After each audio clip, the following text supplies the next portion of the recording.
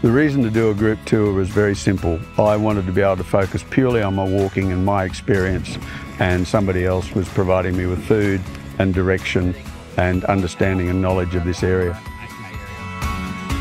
I chose to do the South Coast Track with a group because otherwise I would never have done it.